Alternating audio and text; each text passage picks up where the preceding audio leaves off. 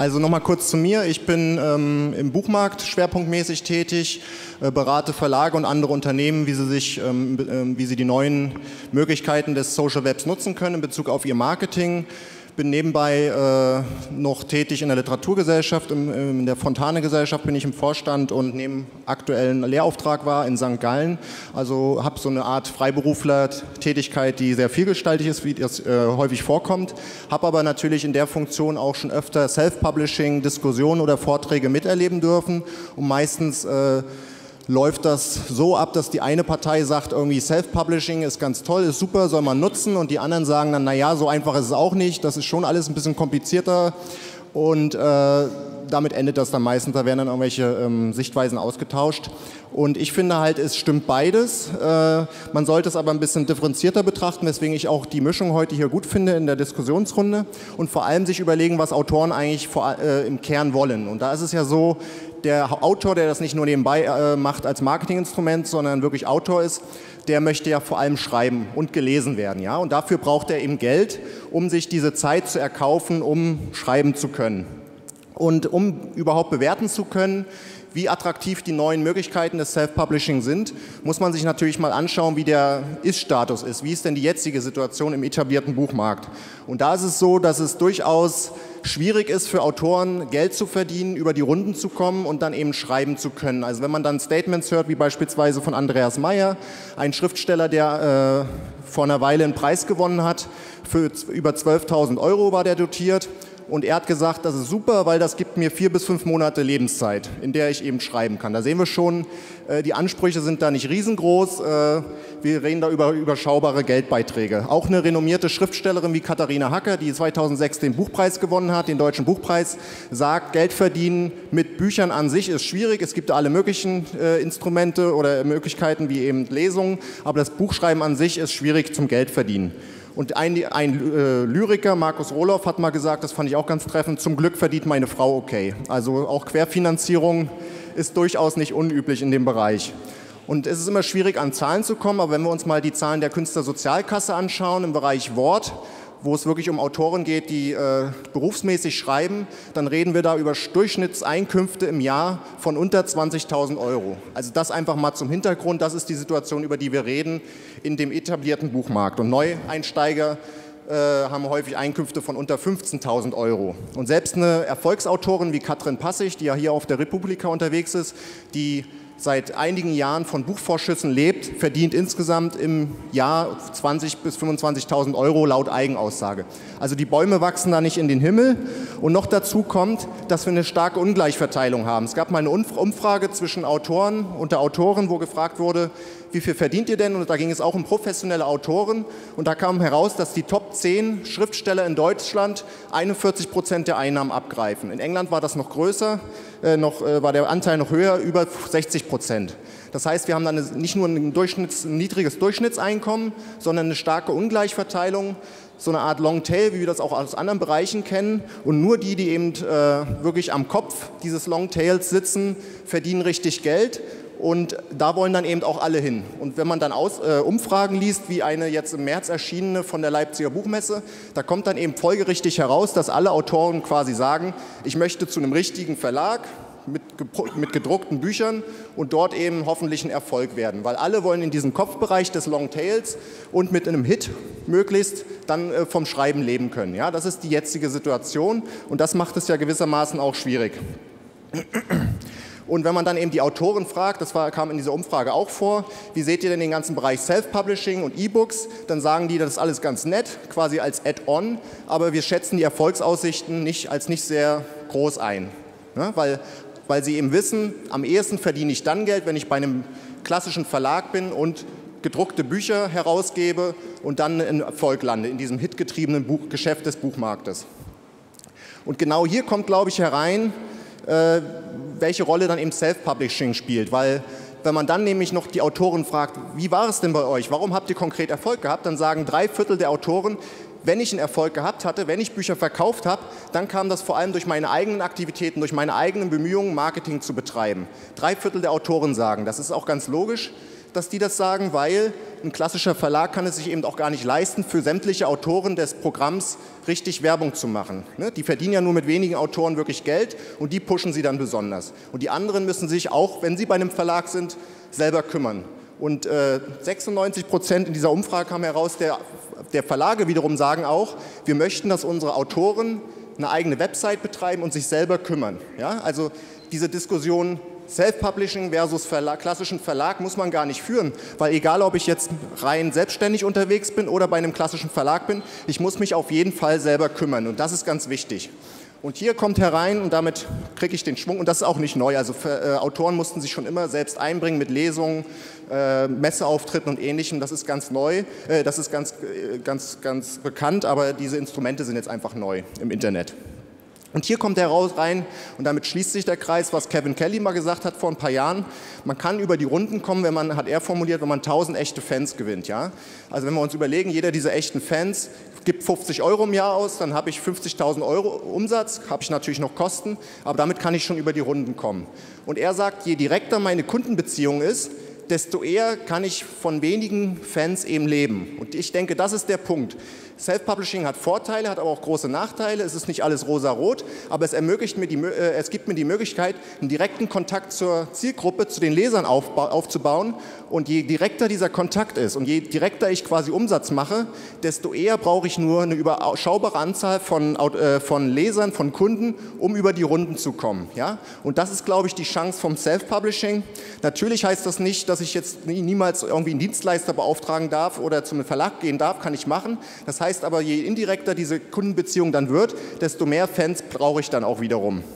Und das ist, denke ich, der, der Kernpunkt. Es gibt hier durch das Self-Publishing die Möglichkeit, sich eine Fanbasis aufzubauen, die zu unterhalten. Das wird nicht jedem gelingen, aber vielen ja eben doch. Und dann eben aus diesem Hit, rein hitgetriebenen Geschäft des klassischen Buchmarktes herauszukommen, um so viel Geld zu verdienen, dass ich über die Runden komme und existieren kann. Und das ist mir ganz wichtig, nochmal zu betonen. Das ist ja das Ziel, was die meisten Autoren haben. Die wollen nicht viel Geld verdienen, wollen zunächst mal schreiben können und gelesen werden, weil wenn sie viel Geld verdienen wollten, würden sie sich einen anderen Beruf suchen. Genau. Und wie das dann gelingen kann, das ist genau die spannende Frage. Da haben wir auch ein paar Kandidaten, die hier sitzen und schon eigene Erfahrungen einbringen können. Um, es, um, das, äh, um das abzurunden, kann man sagen, wir müssen Verbindung zu den Kunden eben aufbauen, direkten Kontakt aufbauen und dann uns überlegen, was können wir diesen Leuten verkaufen, auch über das Buch hinaus. Und äh, damit ende ich.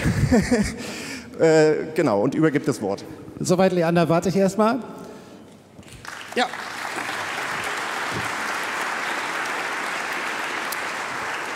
Dessen neues E-Book, wie ich aus 5 Minuten 10 mache, nächste Woche bei Amazon erscheint. äh, weiter geht's mit Wolfgang Tischer. Ja, ich gucke gleich mal, was ich von ihm lernen kann.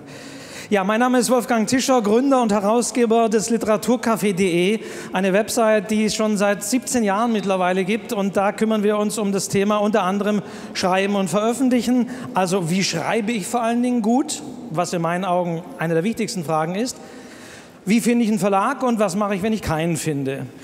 Ich selbst bin gelernter Buchhändler auch und äh, da sind ja Selbstverleger eigentlich immer ziemlich uncool. Das waren so Typen, die kamen verdruckst in die Buchhandlung und gesagt, ich habe hier ein Buch, das habe ich selbst veröffentlicht, wollen Sie es verkaufen? Und man wusste, nein, ich will es nicht verkaufen und keiner wird es kaufen.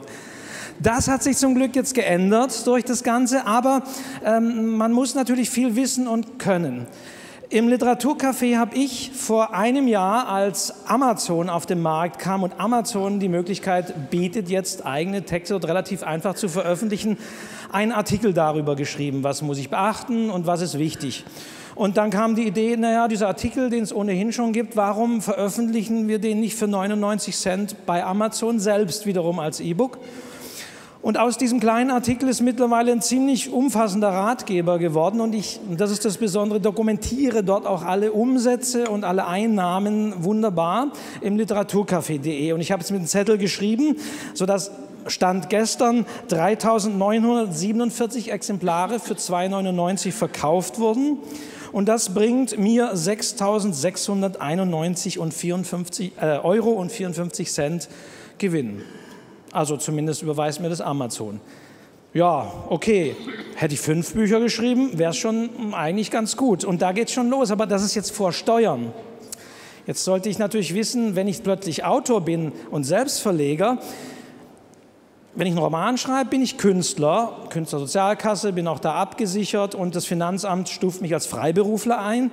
Wenn ich jetzt plötzlich meine eigenen Bücher auch verkaufe über einen Shop, bin ich dann eher gewerblich unterwegs, also wie der Bauer, der seine eigenen Kartoffeln äh, verkauft. Äh, da fangen, fangen schon die Sachen an, wo man mal mit dem Finanzamt oder mit seinem Steuerberater sprechen sollte. Eine wichtigste Sache ist auch die Preisbindung. Davon haben sicherlich alle schon mal gehört. Äh, es wird aber immer wieder gesagt, die Preisbindung ist dafür zuständig, dass die E-Books in Deutschland so teuer sind. Das ist so nicht ganz richtig. Preisbindung heißt nicht, dass die E-Book-Preise an die Preise der gebundenen Bücher äh, gebunden sind äh, oder der Taschenbücher gebunden sind, sondern letztendlich, dass der Verlag den Preis festlegt. Und den kann er natürlich auch für ein E-Book relativ günstig festlegen. Also es ist eher eine politische Entscheidung. Wenn ich jetzt aber meinen Preis festlege, dann müssen alle Händler das zu dem Preis verkaufen. Wenn sie es nicht tun, können sie abgemahnt werden. Und deswegen, wenn ich es auch selbst verkaufe, und das kommt jetzt wiederum dazu, dann muss ich selbst dafür sorgen, dass überall der Preis gleich ist. Denn ich pflege ja als Autor plötzlich meinen Preis bei Amazon und bei Apple und sonst wie ein. Da muss ich also auch dran denken, denn sonst habe ich schnell ein Problem. Ich darf auch leider nicht so schöne Sachen machen wie zahlt, was ihr wollt für mein Buch. Denn wenn die Leute zahlen, was sie wollen, zahlen sie unterschiedliche Preise, also ist ein Verstoß gegen die Preisbindung. Vieles funktioniert leider nicht ganz. Was funktioniert, ist Verschenken. Das geht, man kann seine Bücher verschenken und es kann natürlich eine Strategie sein, gerade wenn man mehrere Bücher veröffentlicht. Es gibt also eine ganze Reihe an Dingen, die ich beachten muss. Ich muss zum Beispiel auch, ich bin verpflichtet, als Selbstverleger Bücher an die Deutsche Nationalbibliothek abzuliefern. Wenn ich das auch nicht mache, droht mir ein Bußgeld. Wunderbare Sache ist aber die, dass die Deutsche äh, Nationalbibliothek keine DRM-Titel annimmt und lesen kann und deswegen sagt, naja, dann behalt mal lieber. Da geht durch DRM ein Nebeneffekt, äh, ein negat weiterer negativer Nebeneffekt auch viel verloren an äh, Archivierung bei der Deutschen Nationalbibliothek. Naja, dann kommen noch viele andere Punkte dazu. ISBN beispielsweise, brauche ich eine ISBN? Nein, ich bin nicht gesetzlich verpflichtet, ich muss sie nicht haben, nicht unbedingt haben, macht sich aber manchmal ziemlich gut gut. Ja, und dann kommen wir zum Thema Inhalt. Ich komme vom Literaturcafé, also bin eher im Bereich Belletristik oder Lyrik unterwegs. Und ähm, das ist natürlich der Hauptpunkt. Man muss wissen, für wen man schreibt. In Deutschland sind die Autoren ja eher so, die schreiben irgendwo im Verborgenen, sagen irgendwann im Verlag, so mein neues Buch ist fertig, so sie eben schon einen Verlagsvertrag haben. Der Verlag sagt, ja, dann lass mal sehen und dann läuft die Maschinerie an. Als Selbstverleger muss ich viel mehr schauen. Starte ich zum Beispiel, wenn ich einen Krimi schreibe, kann ich daraus schon eine Serie machen, um vielleicht die Leute da reinzuziehen in meine Krimiserie? Wo sind meine, meine Nischen, die ich bediene? Also das ist ein sehr wichtiger Punkt. Inhalt, guter Inhalt ist immer der für die Zielgruppe passende. Dann muss ich mich als Coverdesigner plötzlich äh, betätigen, was man sieht, wenn man bei Amazon, das klappt auch nicht immer, das sieht auch nicht so doll aus, weil die Leute meinen, naja, es ist ein E-Book, da gibt es ja keine Cover, liegt ja nicht mehr in der Buchhandlung. Ist aber ja leider nicht so, denn, äh, oder ja, ist nicht so, aber trotzdem im Suchergebnis von Amazon tauchen die Cover auf. Und so weiter und so fort. Das Allerwichtigste am Schluss ist jedoch, was ich finde, als Autor, als Selbstpublisher muss man, oder das ist die größte Gefahr und das meiste, was man am meisten beachten muss, das eigene Ego die eigene Selbsteinschätzung und teilweise auch Selbstüberschätzung. Denn wenn man all die Dinge, die ich jetzt genannt habe, auch so irgendwo im Web sagt, dann melden sich sofort 40 äh, Dienstleister und sagen, hey, wir machen das alles, brauchst dich gar nicht drum zu kümmern. Da gilt es dann genau hinzuschauen verpflichte ich mich, gebe ich da plötzlich Verträge ab. Von den 70 Prozent, die ich so bei Amazon bekomme in einem gewissen Preisspektrum, ja, bleiben mir plötzlich gar nicht mehr 70, weil dieser Dienstleister was abgreift. Wieder andere sagen, boah, Mensch, du sollst lieber gedruckt machen, das ist viel besser. Wir bieten dir hier gegen eine kleine Zuzahlung von 15.000 Euro ein, äh, was an.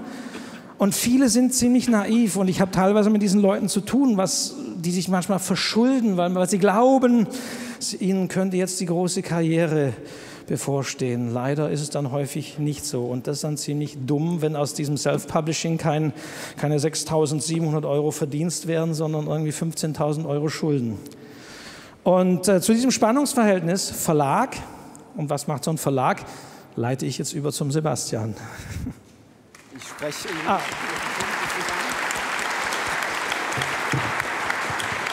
Das Timing wird besser.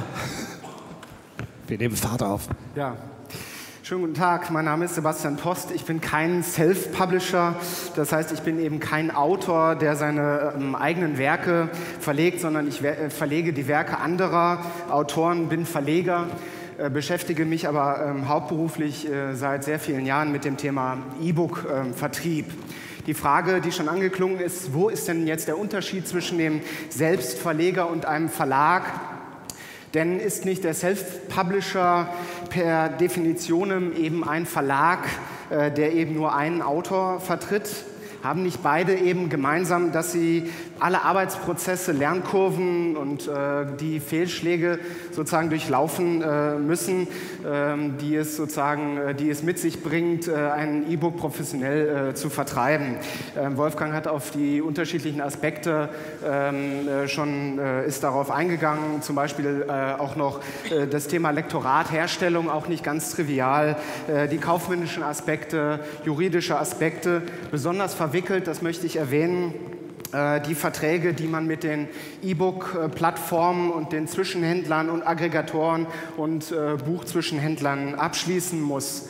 Oder muss man das äh, vielleicht gar nicht? Reicht es vielleicht auf der anderen Seite ein technisch versierter, gut vernetzter und ziemlich hervorragend organisierter Autor zu sein, um E-Books zu verkaufen? Reicht es eben, dieses E-Book äh, zusammenzuschrauben, das HTML äh, zu verpacken und es über die wichtigste Plattform für E-Books, dem Amazon Kindle Store, ähm, zu verkaufen, flankiert von den Social-Media-Aktivitäten, den Retweets und den Likes, äh, die das Ganze sozusagen dann äh, unterstützen sollen in der Community. Äh, die Debatte über das Self-Publishing hat sich in den letzten Wochen ziemlich intensiviert. Ähm, Sie haben das sicherlich mitbekommen, äh, die Diskussion, die Klage des amerikanischen Justizministeriums gegen Apple und die fünf großen ähm, Verlage. Ähm, die Folge dieser Klage, das muss man äh, so sehen, ist, dass Amazon noch größer werden wird. Die werden durchmarschieren mit einem Marktanteil von aktuell ca. 60 Prozent in dem amerikanischen Markt, Tendenz steigend. Ähm, hier in Deutschland muss die Debatte, und das ist so ein bisschen die These, ähm, etwas ähm, anders äh, geführt werden als in den USA. Und das liegt eben an den anderen Umständen der anderen Infrastruktur hierzulande. In den USA liegt der Marktanteil von E-Books bei ca. 19 Prozent im Jahr 2011. Äh, dort gibt es im Wesentlichen nur fünf Shops. Das sind eben Amazon, ähm, das sind Barnes Noble, die sich jetzt mit Microsoft assoziiert haben. Das sind Kobo, das sind ähm, Apple und äh, Google in der Reihenfolge ihres Marktanteils vermutlich. Der deutsche Markt ist immer noch relativ klein. Er liegt bei 0,9 Prozent oder 1 Prozent ungefähr äh, des Umsatzes der Verlagsbranche. Ähm, und äh, man muss eben dazu sagen, dass zwar Amazon auch hierzulande relativ stark ist, aber der deutsche Markt Gott sei Dank äh, relativ heterogen ist. Das heißt, es gibt neben Amazon circa 15 Shops, in denen man als Verlag oder als Autor äh, sozusagen ähm, E-Books ähm, verkaufen kann. Jetzt eine kleine Kalkulation. Würde man also von einem Marktanteil von einem Prozent ausgehen äh, und würde man hier von Amazon und Apple gemeinsam ca. 50 Prozent zuschreiben, dann zeigt sich einfach äh, sehr stark, wie viel Potenzial man auslassen würde, ähm, wenn man seine E-Books nur in einem Shop oder einem oder zwei Shops ähm, anbietet. Und der zweite, äh, viel wichtigere Punkt ist, äh, den ich hier machen möchte, wie viel Potenzial würde ich als Autor ähm, auslassen, wenn ich mein Buch nicht in gedruckter Form und zwar über den klassischen ähm, Verlag äh, vertreiben lasse. Äh, eine Spekulation vielleicht äh, dazu legt man eben diese Zahlen 1% und 50% Marktanteil von Apple und Amazon zugrunde.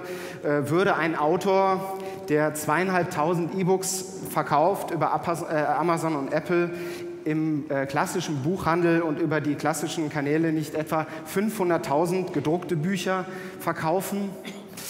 Tja, vermutlich nicht. Äh, Fakt ist aber, dass eben über die äh, äh, gedruckten Bücher sich sehr viel mehr äh, Bücher absetzen und Titel absetzen lassen ähm, als über die E-Books. Und in der Regel liegt der Preis für ein Buch äh, jenseits der 10 Euro.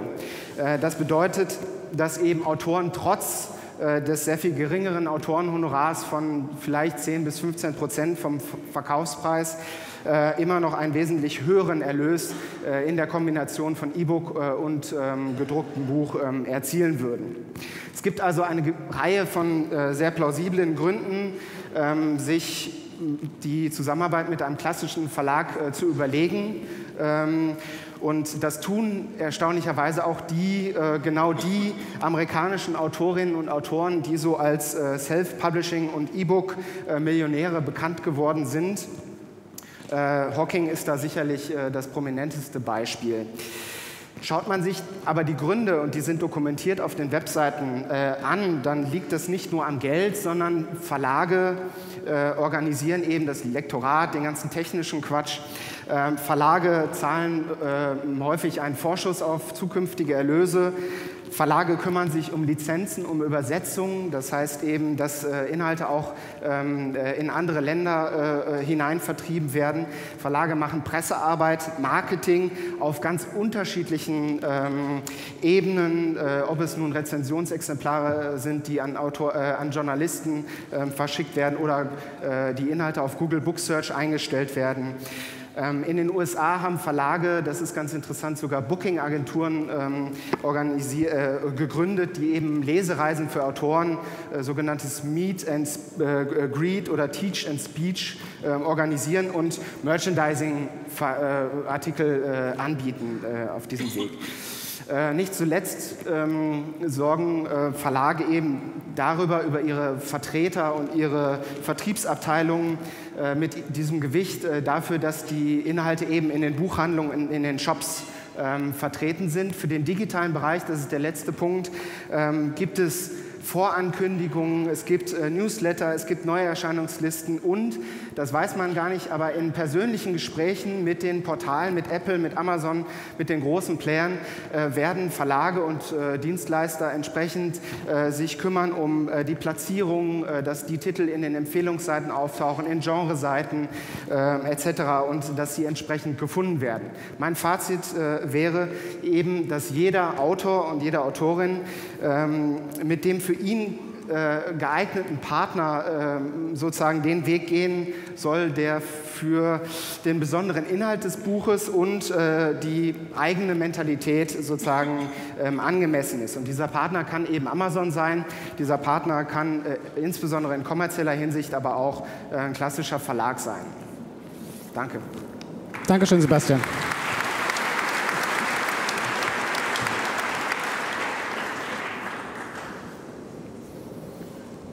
An der Stelle ähm, übernehme ich ähm, und beginne eigentlich meinen Impulsvortrag mit einem ähm, großen Nein oder auch einem Nö oder einem Nee, ähm, denn das habe ich ganz oft von Verlagen gehört. Nein, Ihr Titel passt leider nicht in unser aktuelles Programm. Ähm, das soll keine Wertung darstellen. Wir wünschen Ihnen weiterhin alles Gute. Ähm, das habe ich mir zu Herzen genommen, denn deren Nein war für mich ganz klar ein Ja. Ähm, das heißt, ich habe mir überlegt, was kann ich machen und habe mich ganz klar fürs E-Publishing entschieden. Mein Name ist Nicole Sovade und ähm, ja, ich äh, lebe und wohne hier in Berlin, ähm, bin eigentlich im ähm, klassischen Marketing und CSR für einen großen Schreibwarenhersteller tätig. Also ähm, äh, habe mit dem Verlagsgeschäft eigentlich nichts zu tun, habe allerdings Germanistik studiert und Hispanistik und ähm, ja, äh, habe dann quasi äh, ja, tagsüber immer im, äh, äh, ja, für meinen normalen Job gearbeitet und bin dann abends nach Hause gegangen und habe über Jahre daran gearbeitet, mir meinen Traum ein Stück weit zu erfüllen, habe einen Roman geschrieben, der Miss Januar heißt und ähm, habe mir dann natürlich überlegt, wie kann ich ihn rausbringen. Ich hatte jetzt gerade schon gesagt, ähm, es hat alles mit einem großen Nein begonnen. Das heißt, im letzten Herbst habe ich mir dann überlegt, was kann ich machen und habe mich fürs E-Publishing entschieden.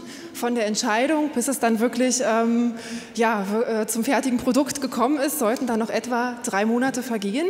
In diesen drei Monaten habe ich mich natürlich mit diesem Thema erstmal auseinandersetzen müssen, denn ähm, E-Books waren mir vorher auch nicht bekannt und ich hatte auch so die typischen ähm, Berührungsängste mit diesem Medium.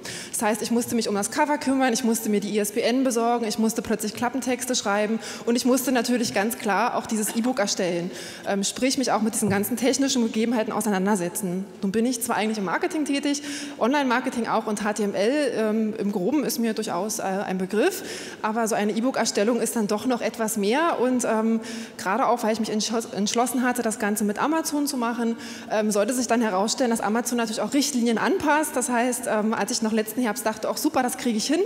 Ähm, dann sollte ich dieses Frühjahr anders belehrt werden, als ich dann soweit war, denn Amazon hatte die Richtlinien geändert. Ähm, sie wurden etwas härter und ähm, auch das Tool zum Erstellen des E-Books wurde etwas komplizierter. Und ähm, so hatte ich mal wieder Zeit reingesteckt, ähm, musste mich doppelt äh, an die Arbeit machen, dieses E-Book überhaupt erst zu erstellen ja, dann war es soweit, mein E-Book kam raus. Ich hatte äh, marketingtechnisch gesprochen so äh, ja, ähm, die Grundarbeit geleistet. Ich hatte mein Produkt, äh, ich hatte auch meinen Place, wo ich es äh, veröffentlichen wollte. Ich hatte mich als Preis in etwa auf 4,99 äh, ähm, ein, eingeschworen. Ich fand äh, für mich persönlich, das wäre ein guter Preis. Ich würde das auch selbst bezahlen für so ein Buch. Und ähm, ja, und dann fehlte halt nur noch die Promotion. Ähm, jetzt muss man dazu sagen, mein Buch ist ein Unterhaltungstitel. Ähm, äh, in meinem Buch geht es darum, dass ähm, die Heldin Elisabeth Schneider eines Morgens aufwacht, ähm, sich an einen ganzen Tag nicht erinnern kann, aber unglaublich glücklich ist. Also stellt sie fest, Mensch, ich muss ja jemanden kennengelernt haben und begibt sich eben auf die Suche nach diesem jemand. Die Suche verläuft ziemlich holprig, aber am Ende natürlich geht alles gut aus. Sie lernt äh, neue Freunde kennen und rettet sogar ganz nebenbei noch äh, ein wenig die Welt.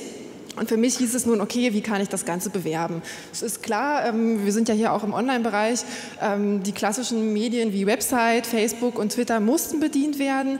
Schwieriger war dann für mich, ähm, das Buch als solches bekannter zu machen. Aus meiner germanistischen Studienzeit weiß ich noch, wie klassische PR-Arbeit auch im Verlag aussieht. Die funktioniert nur leider für ein reines E-Book nicht, denn das beruht immer auf dem Hardcover und die, die Buchbranche ist leider tatsächlich noch so weit, dass sie sagt, nee, E-Book allein, das bringt es nicht.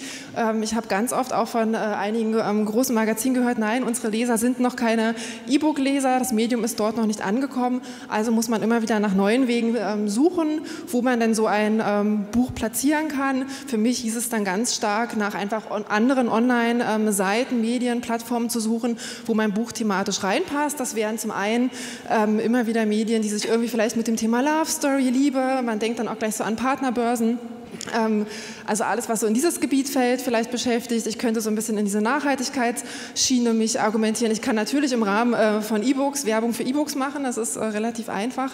Ähm, und das sind aber auch schon die klassischen Medien. Und dann hört es für mich auch ähm, relativ auf. Also war die Frage, was kann ich denn unkonventionell noch machen? Und hatte mich entschlossen, eine kleine Gratisaktion zu fahren, die über meine Website läuft. Ich bin persönlich großer Fan von Pay-per-Tweet or Post. Sprich, wer über mein E-Book auf äh, Facebook oder Twitter berichtet, der kriegt das Ganze gratis und zwar nicht als E-Book, sondern als PDF. Ähm, deswegen auch, weil ich mich nicht mit Amazon anlegen wollte, die ja ganz klar sagen, wenn Sie irgendwo das Buch gratis finden, ähm, wird der Preis mal eben bei Amazon auch auf Null gesenkt. Ähm, so sollte es dann doch nicht ablaufen. Ähm, ja, dann stehe ich hier als Miss Januar. Eine, einige fragen sich bestimmt, warum. Das Outfit habe ich mir nicht extra für heute besorgt, sondern das ähm, Outfit entstand im Rahmen der Leipziger Buchmesse. Ähm, erstmals bin ich auf dieser Buchmesse gewesen und wollte eben über mein Buch sprechen und dachte, wie kann ich denn am besten Miss Januar verkörpern und für Aufmerksamkeit sorgen und habe mir dann eben das Krönchen aufgesetzt, ähm, das Scherbchen umgehangen und ähm, bin über die Messe gelaufen, habe dort auch Wolfgang zum Beispiel kennengelernt.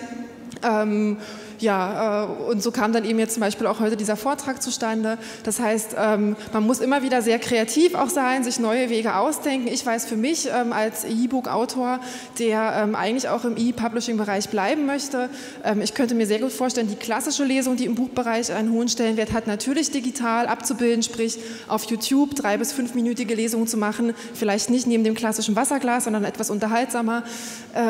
Ich könnte mir sehr gut vorstellen, Kurzromane noch noch auf Amazon zu veröffentlichen und über kurze Titel ähm, wiederum Aufmerksamkeit für mich als ähm, Autor und für mein großes Werk ähm, hinzubekommen. Das heißt, man muss immer wieder als Autor umdenken, ähm, was ist denn noch möglich? Und ähm, das alles klingt nach viel Arbeit, das ist es leider auch. Und das ist auch die Krux an der ganzen Geschichte, denn äh, unterm Strich äh, muss ich ganz klar sagen, es kostet Zeit. Und äh, ich hatte ja anfangs gesagt, ich habe einen richtigen Job, das ist auch so ein äh, ja, regulär bezahlt plus Überstundenjob, das heißt, ähm, äh, man muss sich diese Zeit auch suchen. Und ähm, am Ende ähm, zählt dann tatsächlich, wie sehr man das äh, wirklich möchte, wie sehr man hinter dem eigenen Buch steht und ähm, ob man eben Spaß an der Sache hat. Und ähm, ich habe anfangs mit einem Nein begonnen. Jetzt kann ich quasi am Ende sagen, ja, äh, für mich ist es ein ganz klares Voting für E-Books, weil es einfach Spaß macht, äh, für die eigene Sache Werbung zu machen, sich eigene Ideen auszudenken und dabei niemanden fragen zu müssen, ob das nun gut ist oder nicht.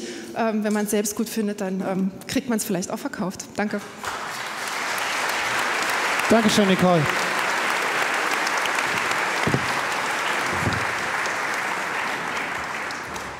Wir sind gleich fertig, ne? Diskussion wird wohl nicht mehr. Ich bin Ulrike Langer, ich bin freie Journalistin, beschäftige mich äh, schwerpunktmäßig mit dem Thema Medieninnovation, Journalismusinnovation, habe das viele Jahre aus Köln gemacht und wie der ein oder andere weiß, bin ich äh, im letzten Sommer nach Seattle gezogen. Und ähm, wenn ich ein bisschen verpeilt aussehe, ich bin noch im Jetlag, ich bin gestern erst angereist. Ähm, ja, also meine E-Book-Erfahrung ist vor allem eine praktische Erfahrung. Und zwar habe ich im Sommer 2010 mit großer, großer Begeisterung einen Blogbeitrag gelesen von meinem Kollegen Christian Jakubetz, der sagte, man müsste eigentlich ein Buch machen. Ein ganz klassisches Buch, was aber ähm, alle die abholen soll, die auf dem Weg sind zu neuen Ufern im, Journalist, äh, im Journalismus. Also ein Buch über den neuen Journalismus, der aber inhaltlich sich, mit, äh, sich nicht mit dem beschäftigt, äh, was das Medium ausdrückt, sondern nur das Medium als, als Brücke. Damit war ganz klar, wir machen kein E-Book, sondern wir machen ein, ein gedrucktes Buch. Nur dann wurde es sehr unkonventionell. Also das Buch äh, mit dem, mit, äh, zwischen zwei Buchdeckeln, Papier ist das einzig konventionelle daran gewesen. Wir waren uns nämlich sehr schnell klar, wir müssen ganz viele Leute ins Boot, holen. Wie machen wir das? Wir werden die nicht bezahlen können. Es stellte sich aber raus, das war überhaupt kein Problem, denn ebenso wie ich völlig begeistert auf diesen Blogbeitrag ansprang, ging es ganz vielen anderen auch. Und nach ungefähr sechs Wochen hatten wir die meisten Autoren mit im Boot, die sich ähm, von sich aus meldeten und sagten, tolle Idee, ich möchte gerne einen Beitrag schreiben, zum Beispiel zum Thema Mobile Reporting. Oder einen Beitrag dazu, wie mache ich eigentlich, wie mache ich Online-Blatt, also um das als Metapher mal zu nehmen. Einige wenige Leute haben wir dann noch zusätzlich mit hineingeholt, weil wir dachten, die fehlen, zum Beispiel ähm, Lorenz, Lorenz Matzert, der hier, glaube ich, auch einen Vortrag halten wird zum Thema Datenjournalismus, ähm, Stefan Plöchinger von, von der Süddeutschen Zeitung und das Vorwort hat uns auch als Bindeglied sozusagen zu Old School, hat uns dann Heribert Prantl geschrieben. Damit war die Mannschaft Mannschaft mehr oder weniger komplett. Es dauerte dann über ein ganzes Jahr, bis dieses Buch tatsächlich erschienen ist. Ähm, mit so vielen Leuten im Boot, denen man auch nichts zahlen kann, die konnte man natürlich nur in Maßen antreiben. Was hatten wir denn als Druckmittel gehabt? Es kriegte ja niemand einen Vorschuss, es bekam auch niemand eine Versprechung. Wenn aber ganz viel Geld reinkommt, werden wir euch auf jeden Fall auszahlen. Ähm, das, das haben wir lieber gar nicht erst gesagt. Und dann, äh, weiterer Glücksfall, meldete sich ein kleiner, eine, eine Veröffentlichungsplattform, die gerade im Aufbau war, ähm, Eureclear bin mir nicht sicher, ähm, welche Zukunft Euryklia hat, weil es sieht so aus, als ob wir das momentan das einzige Buch sind ähm, mit Universalcode, was jemals bei Euryklia erschienen ist. Aber wenn, wenn das so ist, dann haben wir jedenfalls Glück gehabt, dann ist das Referenzprojekt halt das Projekt.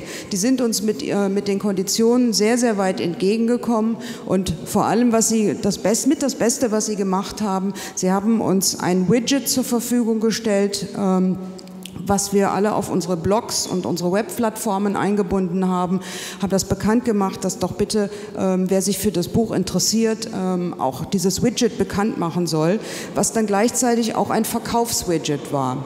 Das hatte nämlich den schönen Effekt, ähm, wir haben natürlich das Buch auch bei Amazon angeboten, das muss man machen heutzutage, weil es gibt tatsächlich Leute, die, die glauben, wenn ein Buch bei Amazon nicht zu finden ist, dann existiert es ja wohl nicht. Ähm, die meisten Leute haben das aber sehr wohl verstanden, dass wir, die uns selber nicht zahlen konnten, sondern im Gegenteil sehr, sehr viel Zeit und äh, Engagement da reingesteckt haben, nicht auch noch einen hohen Prozentsatz an einen Zwischenhändler verlieren wollten. Ähm, und über das Widget blieb halt, blieb halt sehr, sehr viel mehr Geld für das Projekt hängen. Ähm, das Schreiben, würde ich mal sagen, war 25 Prozent der Arbeit und den, den, Löwenanteil der restlichen Arbeit, also der Verdienst gebührt wirklich Christian Jakubetz, der hat unermüdlich für dieses Buch getrommelt, ähm, in letztlich, glaube ich, 70 oder 80 Blogbeiträgen, jeden Autor mit Handschlag sozusagen einzeln begrüßt. Und wir haben auch immer wieder in die Runde gefragt, ähm, was erwartet ihr von diesem Buch, welches Thema fehlt vielleicht noch, wir haben ihn letztlich dann über die Cover-Illu abstimmen abstimmen lassen. Also die, der, die gesamte Buchentstehung ähm, ist eigentlich schon öffentlich geworden. Und nur so ist es wahrscheinlich auch zu erklären, dass wir für ein äh, Buch mit Autoren, die alle größtenteils noch nie in ihrem Leben ein Buch veröffentlicht hatten, wir die recht hohe ähm, verbindliche Subskriptionszahl von ähm, ungefähr 900 ähm, Vorbestellern hatten. Also die sich verpflichtet hatten, wenn das Buch erscheint, zahlen sie 24,90 Euro und bekommen dann dieses Buch zugeschickt. Also wirklich ein, gehen zwar kein finanzielles Risiko ein, denn wenn es nicht geklappt hätte, wäre natürlich nichts bei ihnen abgebucht worden. Aber 24,90 Euro als verpflichtendes Versprechen, das ist ja schon was. Und ähm, die, meisten, die meisten unserer Besteller, die, die wussten wir vorher. Insofern ähm, haben wir auch für eine bestimmte, schon feststehende Zielgruppe geschrieben. Nachher, als das Buch dann veröffentlicht war, sind gar nicht mehr so viele neue noch dazugekommen. Ähm, ja, was habe ich jetzt als Journalistin praktisch davon gehabt? Finanziell erstmal gar nichts. Ähm, Würde ich es nochmal machen? Hat es mir was gebracht? Ja, auf jeden Fall. Also es ist ein eindeutiges Beispiel für das Freemium-Konzept von Chris Anderson, ähm, was ich wirklich großartig finde, dass es sich lohnt, manchmal Dinge zu verschenken, wenn man hinter dem Projekt steht. Also für mich sind die Kriterien immer, es muss unglaublich viel Spaß machen, ähm, es muss mich selbst mit, mit, mit interessanten Leuten zusammenführen oder ich muss selbst was, was davon lernen. Wenn, wenn diese Faktoren erfüllt sind, dann arbeite ich auch gerne für Lau. Und ähm, das war alles in diesem Fall erfüllt und auf jeden Fall hat es mir mittelbar mehr Bekanntheit gebracht, mehr Aufträge gebracht und ich bin vor allem assoziiert worden mit einem, einer Gruppe von Leuten, mit denen ich gerne assoziiert werden will. Also das sind natürlich auch, ist ein Kalkül, Kalkül was man machen kann, bewusst oder unbewusst. Ähm, was bringt mir das noch außer monetären äh, Dingen? Ein weiterer Nebeneffekt ist allerdings, ich trage mich seit drei Monaten mit einem weiteren eigenen Self-Publishing-Projekt herum und merke auch durch die Erfahrung mit Universalcode, wie viel Arbeit es letztlich war, wie lange es gedauert hat, wie viel Perfektionismus im Detail am Ende noch dazukommen muss. Jeder bezahlte Auftrag geht momentan immer vor, vor diesem zweiten ungewissen Projekt, wo die Früchte äh, vielleicht irgendwann mal zu ernten sind. Dankeschön, Ulrike.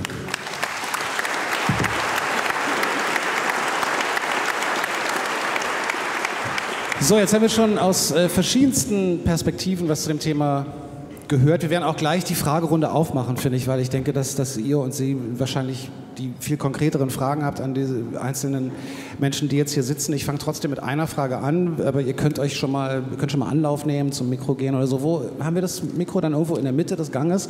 Ähm, also das klingt alles jetzt noch sehr nach teurem Hobby, wo vielleicht ein bisschen was hängen bleibt, wenn man es selber macht. Was, äh, ich finde, einen wichtigen Aspekt haben wir noch nicht erwähnt. Das ist eine Erfahrung, die ich gemacht habe. Ich habe, äh, finde ich, relativ viel Interviews geben dürfen in den letzten Wochen zum, zu meinem eigenen E-Book äh, und habe das alles gerne gemacht, weil das natürlich auch hilft und zwar spürbar. Das ist eine wahnsinnig neue Erkenntnis, dass Marketing tatsächlich funktioniert. Also jedes Mal, wenn man irgendwo dieses Buch erwähnt, dann kann man wirklich so bei Amazon sagen, wir zwei Stück verkauft, yes.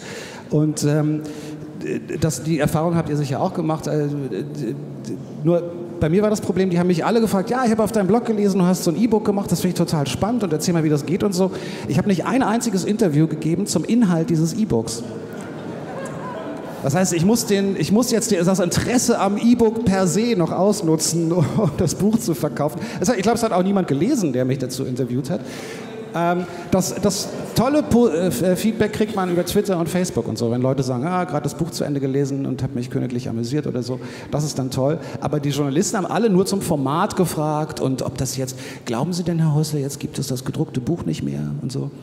Ähm, ich habe festgestellt, wenn Marketing so sehr die Bücher verkauft, also speziell natürlich immer nach wie vor noch das Fernsehen. Das Internet hat meiner Meinung nach, es sind wirklich Ausnahmen, wenn das Internet vorm Fernsehen liegt, was Verkaufszahlen angeht. Also ich glaube, eine Fernsehsendung als Gastauftritt und dann hat man mehr verkauft als übers, äh, übers Netz, glaube ich. Ist der wahre Unterschied im Marketing nicht. Also zu einem klassischen Verlag und zum Selbstpublizieren, dass die klassischen Verlage einfach auf Du und Du sind mit den klassischen Medien. Also ich habe immer den Eindruck, wenn man bei einem großen Verlag ist, dann sagt er, ja, ist der Rüdiger, ey, na, ich habe hier wieder einen super Autoren für dich, kannst du den bei Tommy unterbringen? Irgendwie läuft das nicht auf der Ebene, auf, und zwar auf einer Ebene, wo wir als Selbstpublizisten überhaupt keine Chance haben, reinzukommen? Wer kennt sich damit aus von euch? Ich führe auch Interviews mit etablierten Autoren und da ist es in der Tat so, das sage ich dann auch immer wieder. Natürlich, wenn man dann die großen Namen anfragt, was weiß ich, eine gute PR-Abteilung des Verlages wird dann immer versuchen, oh, da hätten wir noch einen ganz neuen Autor, der hat sein Erstling veröffentlicht, den auch noch mitzuschieben, dass man so ein schlechtes Gewissen bekommt sagt, ja gut, dann, dann, dann gerne den auch noch, klingt, klingt spannend. Also das ist schon ein Effekt, den man bei den Verlagen natürlich hat. So sehr diese Autoren aus der zweiten Reihe dann immer schimpfen über ihre Verlage, die tun nichts für mich, muss alles selber machen. Wenn man eine gute Abteilung hat, dann wird man da schon ein bisschen mitgerissen. Wenn es natürlich nicht klappt, und ich meine das auch gar nicht so negativ. Das klingt jetzt so doof, ist auch, auch klar. Die arbeiten seit Jahrzehnten in diesem Geschäft und natürlich lernt man irgendwann die entsprechenden Feuilleton-Journalisten und Journalistinnen kennen und hat da ein anderes Verhältnis. Aber die, diese Stufe ist doch unheimlich schwer zu durchbrechen für jemanden, der es alleine macht. Und dazu kommt noch, dass ich es gar nicht so toll finde, wenn der Autor oder die Autorin selber bei der FAZ anruft und sagt, ey, ich habe da ein tolles Buch geschrieben ist auch für, für, den jeweiligen Autor nicht so toll. Finde ich, es ist immer besser, wenn es jemand anders macht. Also ich glaube, man muss äh, unterscheiden, um was für eine Art Buch es sich handelt und vor allem an was, was die Zielgruppe ist. Also wenn die sehr breit ist, so wie bei deinem Buch, eigentlich grundsätzlich jeder, der gerne Kurzgeschichten liest oder Essays liest, belletristisch, dann ist das schon mal was anderes wie bei unserem ganz thematisch eng umrissenen Buch. Also von den, sagen wir mal, es, es wären, hätten vielleicht 3000 verkaufen können mit, mit richtig professioneller Marketinganstrengung, aber mit unseren Bordmitteln und das war vor allem Social Media, persönliche Gespräche, Blogs, haben wir eigentlich unsere Zielgruppe schon ganz gut abgedeckt. Also ich wüsste zum Beispiel nicht, was das Fernsehen für uns da hätte tun sollen. Ich bin davon überzeugt, dass da noch mal eine Null hinten dran sein könnte, wenn das Fernsehen ins Spiel kommt. Aber das ist jetzt äh, gefährliches Viertelwissen. Ähm, warte mal, lass uns, lass uns kurz, da stehen schon zwei Menschen? Nee. Ähm, ich habe eine Frage vorhin, wurde das mit dem Finanzamt kurz erwähnt, ob das dann plötzlich ein Unterschied ist, wenn man äh, diese Bücher selber verkauft und dann nicht mehr ausschließlich Künstler ist. Muss man dafür ein Gewerbe anmelden oder kann man das tatsächlich weiterhin nur als Künstler verkaufen? Das wurde vorhin nicht beantwortet und würde mich interessieren. Oder ist es individuell äh, per Tricks zu handhaben? Das Problem ist, dass da in der Tat vieles in der Schwebe ist. Ähm, ich würde es mal ein bisschen vorher klären. Es gibt, ich bin, sagt weder Jurist noch äh, Wirtschaftsfachmann. Es gibt ein Urteil zumindest, ähm, was ein bisschen ähnlich gelagert ist als ein Journalist, der seine Texte auf seiner eigenen Website veröffentlicht und da Banner und es über einen Bannerverkauf macht der hat äh, geklagt, weil die Künstlersozialkasse gesagt hat, nee, er ist ja Gewerbetreibender, er verkauft ja Banner. Äh, der hat geklagt und der hat Recht bekommen, nein, äh, seine Haupttätigkeit ist die journalistische. Also ich würde mich da schon immer auf, natürlich auf die Position stellen, im Hauptberuf bin ich Künstler, bin ich, bin ich Schriftsteller. Aber da ist so vieles in der Schwebe und so vieles neu. Äh, meine Erfahrung ist wirklich auch mal beim Finanzamt äh, den anrufen und das klar zu machen und dass der Steuerberater auch entsprechend gebrieft ist, wenn er da einen Anruf bekommt, äh, dass er dann auch das argumentativ erläutern kann. Und ich könnte es noch ganz aus eigener Erfahrung ergänzen. Ähm, ich habe nun mal meinen Hauptberuf ganz normal angestellt und ähm, bin natürlich ans Finanzamt gegangen und habe gesagt, ich äh, bringe jetzt offiziell Bücher heraus. Wie funktioniert das denn? Dann führt man eben diesen Bogen aus, wo überhaupt festgestellt wird, ob man dann wirklich selbstständig tätig ist. Ähm, das sind äh, ziemlich viele Seiten, typisch Finanzamt. Und am Ende kam aber raus, ich bin es in dem Sinne gar nicht. Ich habe zwar eine neue Steuernummer bekommen, weil sie jetzt eben wissen, Achtung, da kommen noch andere Einnahmen. Wahrscheinlich wird das dann intern anders verbucht. Aber für mich selbst steuerlich hat sich jetzt erstmal nichts geändert. Das wird sich vielleicht in einem Jahr zeigen, wenn dann die Steuererklärung fällig ist. Aber bis dato ähm, gehe ich davon aus, dass alles ähm, normal ist, ich eigentlich weiter angestellt bin und alles, was ich im Moment verdiene, ganz normal einfach als Nebenverdienst ähm, eins zu eins angerechnet wird. Und dann ähm, werde ich noch eine kleine Gewinn- und Verlustrechnung ranmachen, die im Moment eher minus hängt. Das heißt, das Finanzamt wird mir garantiert ähm, keine weiteren Forderungen stellen. Das würde mich zumindest sehr wundern. Ich kann noch was ergänzen zur Künstlersozialkasse. Also der Autor, ich glaube, das hat noch nicht zu einem Grundsatzurteil geführt. Das ist momentan eine Einzelfallentscheidung. Insofern ist man ganz gut beraten, sich darauf nicht zu verlassen, dass jetzt jedes Gericht so entscheiden würde. Ähm, es gibt aber diese, diese andere Regel ähm, der KSK, man darf nicht mehr als 4.800 Euro im Jahr mit, äh, mit Einnahmen, die nicht äh, sieben, mit 7 Prozent Umsatzsteuer belegt sind, sondern mit 19 Prozent, ähm, muss man sehen, dass man unter dieser Schwelle bleibt. Das heißt, wenn man da äh, Gefahr läuft, zum Multimillionär werden, lieber mal was verschenken. Äh, womit ihr euch, womit ihr euch jetzt schon beschäftigt, lasst doch erstmal ein paar Bücher verkaufen, bevor man zum Finanzamt rennt. Also, ich immer wieder erstaunlich. Das ist der Punkt. Ja, wie mache ich das mit der Anmeldung? Noch. Ich habe zum ersten Mal ja. den Satz gehört, ich bin natürlich zum Finanzamt gegangen. Aber das fragen die Leute immer als erstes. Und äh, in der Tat ja, ist es so, dass die Leute dann, dann sagen, sie, oh, jetzt geht's los. Ja, dann verkaufen sie fünf Bücher und dann haben sie es großartig erklärt, womöglich ein Gewerbe angemeldet und dann sagt das Finanzamt Liebhaberei gestrichen. Das ist die Praxis. Erstmal schreiben, dann den Kram rausbringen, dann alle auf Twitter nerven, dass es auch ein paar Leute kaufen. Und wenn das dann einige gekauft haben, dann kann man immer noch beim Finanzamt anrufen, finde ich. Also ist mein Tipp. Was ist denn, wie viel, gibt es noch Fragen? Erstmal? Erstmal nicht? Ähm, doch. Also aufstehen oder so, damit, weil du kriegst ein Mikro, damit die anderen dich auch hören. Super. Ja, ich finde es gerade ein bisschen schade, dass die Diskussion eigentlich gerade nur geführt wird, äh, entweder Self-Publishing oder Verlage. Mich würde mal interessieren, ob es da nicht auch Beispiele dafür gibt, dass jemand als Self-Publisher angefangen hat und dann aber auch beim konventionellen Verlag gelandet ist, weil das Self-Publishing ja da schon gewisse Vorteile bringt, weil man ja im Prinzip seine ganze Crowd dann zum Verlag mitschleppt. Ja, da gibt es. Äh, Hast du, entschuldige. Erzähl. Also da gibt es einen Haufen Beispiele und ich finde auch wichtig bei dem Begriff Self-Publishing, also ich denke da nicht nur an fertige, abgeschlossene Bücher. Hoppla, ich habe ein Buch und jetzt muss ich mir das überlegen, sondern die Übergänge sind ja fließend und äh, gerade wenn es darum geht, sich erstmal eine Zielgruppe aufzubauen, einen Fankreis aufzubauen, äh, dann fängt das ja in der Regel oder bei vielen eben auch damit an, dass sie einfach ins Web hineinschreiben, Blog führen und eins ein sehr schönes, wie ich noch immer finde, Beispiel ist eben Annette Schwind. Die hat äh, das Facebook-Buch herausgegeben bei O'Reilly und das ist da auch ein Bestseller geworden. Und die hat eben angefangen, einen Blog zu führen, wo sie erklärt hat, wie gehe ich mit Facebook um, welchen Knopf muss ich wann drücken, etc. pp und hat sich da wirklich eine sehr lebendige Zielgruppe aufgebaut, äh, wo sie, indem sie ständig auch Fragen beantwortet hat. Und dann hat sie die Reichweite gehabt und dann kamen natürlich auch die Verlage die Verlage sind ja auch nicht doof, die gucken auch ständig im Web hier herum, aber nicht nur dort, aber auch dort. Äh, wer, wer ist denn für ein bestimmtes Thema geeignet? Wer hat da schon äh, so eine Art Community sich aufgebaut, weil das einfach den Erfolg wahrscheinlicher macht. Und das ist auch, ist auch nicht komplett neu.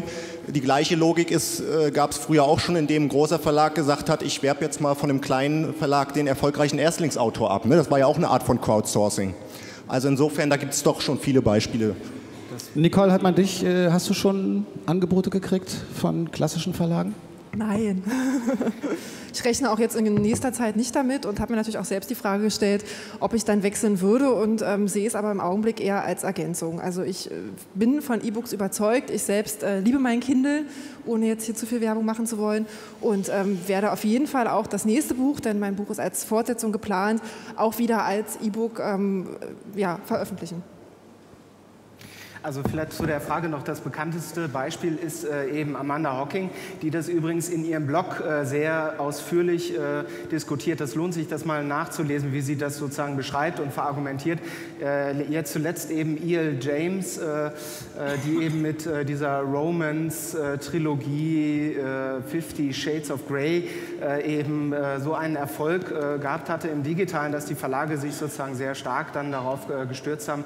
Die sind bei Holzbrink oder Macmillan Köln jetzt gelandet. Also es gibt sozusagen immer diese Leuchttürme, äh, aber auch sozusagen auf niedrigem Niveau gibt es eben sozusagen äh, äh, Beispiele dafür, weil die Kombination eben sehr sinnvoll ist. Also ein Verlag wird immer sehr stark darum bitten, auch den Autor, kümmere dich so ein bisschen um, eine, um deine Fans, um deine Follower, um deine Freunde und eben wenn so ein sozusagen so jemand dann twittert oder die Community anwirft, ist das immer eine unterstützende, flankierende Maßnahme zu dem, zu dem Marketing, was im Digitalen eben auch ganz anders sozusagen dann noch begleitet wird, eben über die klassischen Kanäle.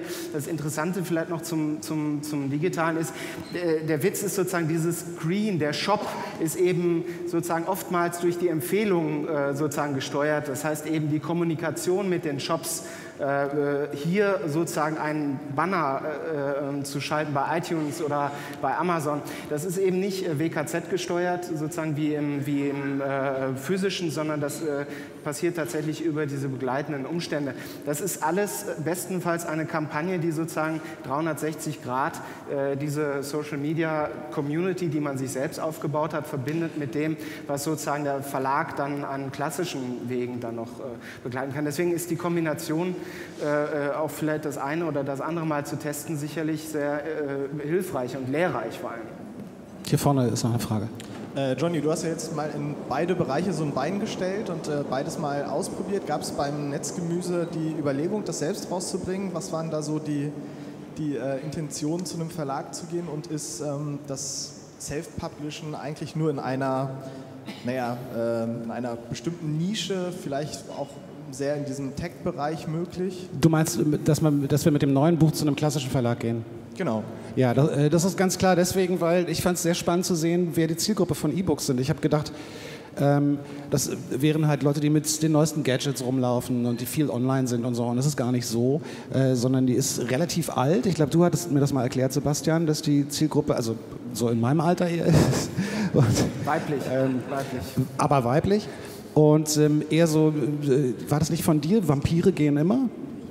ja, also auch eher so auf diesem Vampir- und Liebesroman ist und so. Äh, das Buch, was äh, Tanja und ich jetzt gerade schreiben, ist ein Buch für Eltern, was ihnen Internetkultur nahebringen soll. Und ich glaube, wenn wir das als E-Book rausbringen, ist das nicht so richtig gedacht. Und außerdem ist völlig klar, von einem klassischen Verlag kriegst du einen Vorschuss, um die Wochen und Monate und viele Monate Zeit zu bekommen, dieses Buch zu schreiben und halt dann irgendwie auch mal den einen oder anderen Job sein zu lassen. Das ist ganz klar eine finanzielle Entscheidung.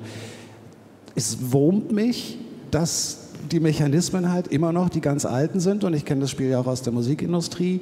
Die Anteile sind lächerlich gering als für einen, klassische, für einen Autor im klassischen Bereich und das ist natürlich schon doof, wenn man sieht, äh, kann ich doch eigentlich auch alleine. Aber äh, ja, das geht dabei letztendlich um Geld.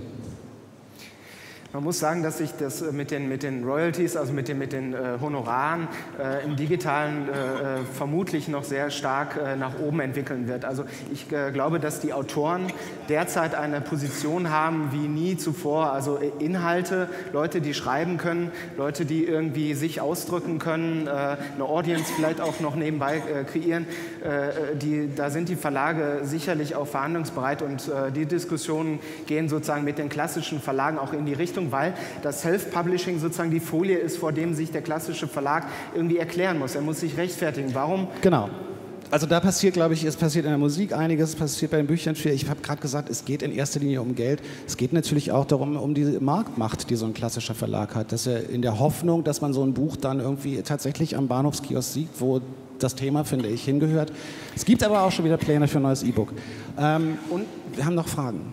Lass mal ja, keine Frage, aber vielleicht noch eine Anmerkung. Ähm, was man vielleicht auch nicht unterschätzen sollte, ist, ähm, wenn man dann mal irgendwo einen Vertrag hat und dabei ist, dann hat man halt eine gewisse Laufzeit und äh, wenn die dann mal durch ist, dann war es das. Wenn man das aber selbst in der Hand hat, dann kann man auch, wenn man sich eben selber eine Community aufgebaut hat, ich meine, es wachsen ja auch neue Leute ran. Und wenn man eben was Zeitloses geschrieben hat, dann hat man es halt auch selber in die Hand und kann es eben nochmal neu auflegen. Und wer weiß, wie es in zehn Jahren aussieht, dann gibt es da vielleicht noch ein bisschen Multimedia dazu oder irgendwelche anderen Dinge. Und dann habe ich es aber in der Hand und kann sagen, hey, wow, ich habe die IP, ich bringe das gerade nochmal neu raus, das äh, trifft jetzt den Markt und dann wieder jemand anders zu finden im Verlag und zu sagen, ach nee, das lief ja damals nicht so. Ich sage mal, also das macht die ganze Sache, glaube ich, auch ein bisschen charmant, zu sagen, ich baue mir selber was auf und muss das auch ein bisschen on the long run sehen und nicht einfach sagen, hey, wir müssen es jetzt in einem Jahr durchverkaufen und dann war es das. Weil wenn ich dann in zehn Jahren vielleicht fünf Titel davon habe, naja, dann macht das eben auch schon wieder Sinn. Gibt es von euch, gibt es noch Fragen von euch? Sieht immer so bescheuert aus, wie so, hey, habt ihr noch Fragen? Da ganz hinten, hat sich sehr gelohnt. Also meine Hand an der Stirn. Also vielleicht eher auch nochmal so eine Tatsache. Du hast ja auch, glaube ich, ich äh, äh, ähm, erzähle jetzt nichts äh, aus dem Nähkästchen. Du hast ja, glaube ich, auch mal ein Podcasting-Buch schreiben wollen bei O'Reilly und dann hast du genau das eben äh, mit, also ich meine dich, äh, Johnny, und du hast ja dann, glaube ich, gesagt, oh nee, das ist mir viel zu wenig, was die mir geben. Also ich habe bei O'Reilly... So drei Bücher rausgebracht und äh, das Schöne ist eben, äh, ich habe dann Lektorat und das ist eben super wichtig und das, denke ich, ist, wird so ein bisschen vergessen. Jetzt, äh, das wäre jetzt Miss Januar, äh, Januar ähm, hast du ein Lektorat? Das wäre eben die Frage. Also sozusagen so eine Kontrollinstanz, die sagt, hm, das Kapitel ist ein bisschen langatmig. Äh, ich denke, das wird oft äh, so bei diesem Self-Publishing vergessen, weil die Ulrike ist ja auch zum Beispiel auch mit ihrem Buch, sie ist Fachfrau, weil sie ist Journalistin, die wissen ja schon, wie man eigentlich schreiben sollte. Ähm, und das, denke ich, wird gerade auch so ein bisschen in der Debatte äh, irgendwie so ein bisschen verschwiegen, dass der Verlag eigentlich sehr viele gute Funktionen hat, die einen unterstützen. Also vielleicht zu der Lektoratsfrage nochmal bei mir konkret. Nein, es gab natürlich kein Lektorat. Ich hatte aber eingangs ja erwähnt, dass ich Germanistik studiert habe.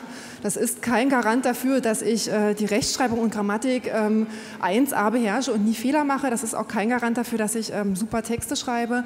Aber ich habe im Prinzip das, was ich für gut finde, als Maßstab genommen, habe natürlich am Ende auch, und das hat unterm Strich etwa auch ein Jahr gedauert, ähm, das Buch auch immer wieder Freunden gegeben. Freunden, die auch aus verschiedensten Bereichen kommen. Einige sind eher umweltinteressiert interessiert. Manche sind ähm, sehr hip in Berlin unterwegs, andere wiederum sind ähm, eher wirklich äh, klassische Liebesromanleser, sodass ich dann wirklich von verschiedensten Bereichen einfach Feedback hatte, wie das funktionieren kann. Muss aber auch dazu sagen, dass ich äh, gemerkt habe, dass bei meinem Buch es so ist, dass es generell eher in Ost- und Norddeutschland besser ankommt als in Süddeutschland. Das mag am Schreibstil liegen, das mag daran liegen, dass das Buch in Berlin spielt und vielleicht München nicht gerne über Berlin liest. Ähm, aber generell, nein, ich habe kein Lektorat und muss mich darauf verlassen, dass es, so wie ich es rausgebracht habe, gut ist. Ähm, sag mir aber auch selbst immer wieder, dass ich genug Bücher gelesen habe, die in Verlagen erschienen sind, die einfach verdammt langweilig waren, verdammt schlecht, ähm, wo ich mich immer wieder gefragt habe, wie konnte denn sowas bitte schön rauskommen? Warum hat hier keiner gestrichen? Und ähm, im Zweifel muss ich eben damit leben, dass ich auch so eine Länge in meinem eigenen Buch drin habe. Das ist dann so. Da vielleicht auch noch zur Ergänzung, natürlich bei den Romanschreibern ist immer das Problem, in der Tat, die geben es Freunden und der Oma und der die Mutter und die sagen, oh Mensch, dass du sowas schreibst, das solltest du mal veröffentlichen. Und das ist nicht das, was, was die Leute lesen wollen. Da sagen, ja, aber sogar der, der liest sonst nie, der hat es gelesen, Wahnsinn. Ja, gibt es einem Leser, der nur und nichts anderes liest als Liebesromane und der muss es dann sagen und der sagt, es ist gut, dann äh, ist es so. Also das ist immer so äh, trügerisch. Und noch was anderes zum Thema Lektorat muss man natürlich sagen. Ich kenne Fachverlage, da sitzen Lektoren, die sich so nennen, aber die machen nichts weiter als eine Rechtschreibprüfung, weil sie von dem Thema keine Ahnung haben, sondern nur der Autor. Dann wird es natürlich problematisch. Bei O'Reilly äh, wird es sicherlich anders sein, aber dann wird es natürlich da problematisch. Aber ein gutes Lektorat Lektorat ist eben nicht nur äh, Kommas äh, suchen und Rechtschreibfehler. Ich bin aber über den Einwand äh, sehr dankbar, weil, und ich bin auch froh darüber, dass wir hier nicht so einen so so so Grabenkampf hatten, von wegen entweder die Verlage, wie wir sie bisher kennen, oder aber alles selber machen. Ähm, ich glaube, dass das Selbstmachen die ganz kleinen Verlage unter Umständen härter angreift als die großen weil die Kleinen bisher so die Talentscouts waren. Jetzt machen das die Autoren selber. Und wenn was läuft, wird wohl irgendwann auch ein größerer Verlag vielleicht ankommen. Und dann kann man sich immer noch entscheiden, äh, ob man das machen will. Und ob man bei einem guten Angebot dann sich wirklich leisten kann, Nein zu sagen, ist dann auch immer noch mal eine andere Geschichte. Aber ähm, natürlich tut der Verlag, wie wir ihn bisher kennen, äh, eine ganze Menge, außer in Anführungsstrichen nur Marketing oder den Vertrieb leisten. Lektorat gibt es bestimmt auch negative Beispiele, aber es gibt natürlich auch gute. Ich möchte noch was zu der Anmerkung von da hinten sagen, dass äh, ich habe das akustisch sehr schlecht verstehen können, aber so rausgehört, ja, Journalisten wissen ja sowieso, wie man schreibt. Das mag man, das mag vielleicht sein, aber sie wissen noch lange nicht, wie man lektoriert. Also auch wir haben, wir haben zwar keinen Lektor bezahlt, wir haben aber nicht auf einen Lektor verzichtet. Auch das lief ehrenamtlich ab. Wir haben also unter uns alle Texte rumgereicht und wir haben jemanden ähm, von außen mit einem sehr kritischen Blick auch drüber gucken lassen, der das auch sehr gewissenhaft gemacht hat. Also daran hat es sicherlich nicht gemangelt.